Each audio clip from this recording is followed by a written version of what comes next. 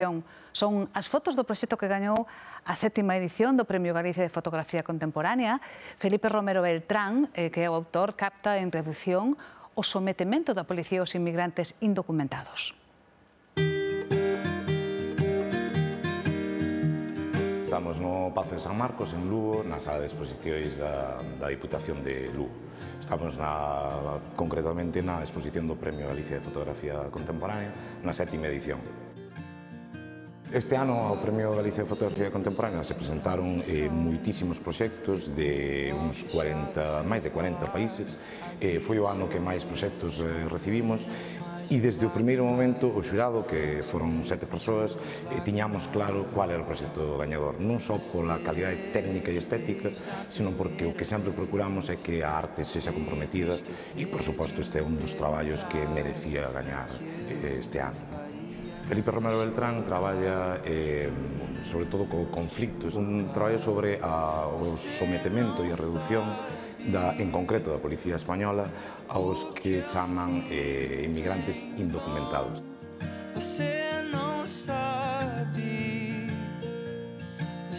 Esta mostra está dividida en tres capítulos. Por un lado, eh, as pezas que máis chaman a atención sempre, eh, que son eh, todas aquelas que, que beben un pouco das fontes da, da fotografía de moda. E para eso, eh, el escolle persoas eh, indocumentadas dirixidas por un policía. Sería un pouco eh, situarnos no lado do oprimido e non no lado do opresor. Non?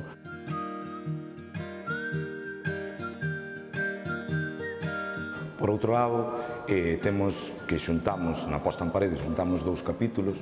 Un lado están as zonas quentes, que é cando eh, Felipe Romero Beltrán fotografía todos esos espazos dos que eh, son tirados os eh, inmigrantes indocumentados ou que chaman inmigrantes indocumentados e son todas aquelas zonas donde eh, a, a policía, os corpos de seguridade detectan que hai moitas, eh, moitos corpos, moitas persoas eh, indocumentadas e comezan a peinar eh, esa zona e automáticamente se, se baleira.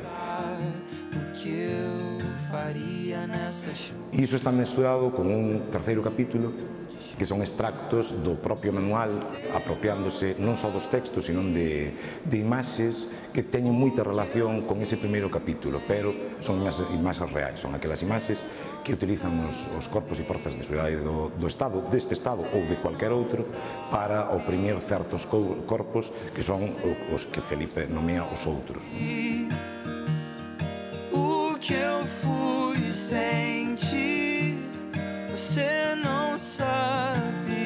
aínda hai unha cuarta parte inédita, sería un cuarto capítulo que incluiremos no, no libro, como sempre o premio eh, ten un libro que apresentaremos eh, aproximadamente en abril.